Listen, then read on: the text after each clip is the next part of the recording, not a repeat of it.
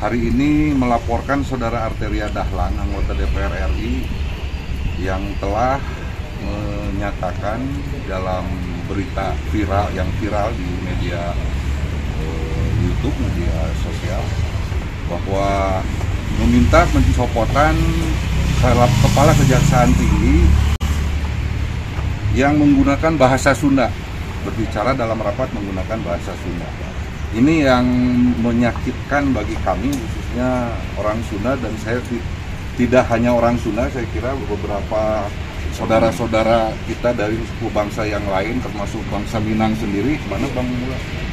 Nah, Bang Mula. Dari Jawa Tengah ada dari Bali kemarin sudah kontak-kontak ke saya lalu dari Minahasa juga sama merasa tersinggung.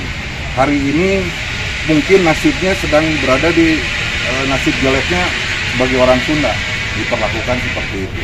Tidak menutup kemungkinan nanti di, di kemudian hari suku bangsa yang lain akan diperlakukan dengan hal yang sama. Yang pada intinya adalah pelanggaran konstitusi.